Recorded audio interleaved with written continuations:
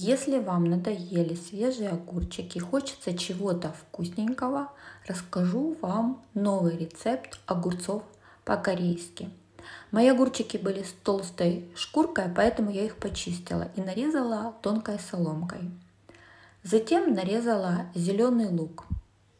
Морковку я потерла. У меня терка обычная, но если у вас есть для корейской морковки, будет тоже очень классно. Чеснок подавила и мелко нарубила. Я делаю все на глаз.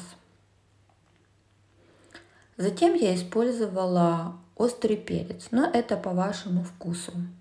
Нарезала совсем немного. В сотейник налила растительное масло, добавила паприку и острый перец.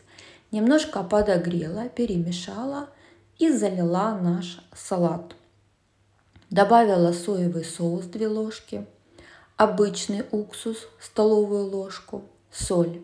Все перемешала и оставляю в холодильнике хотя бы на час.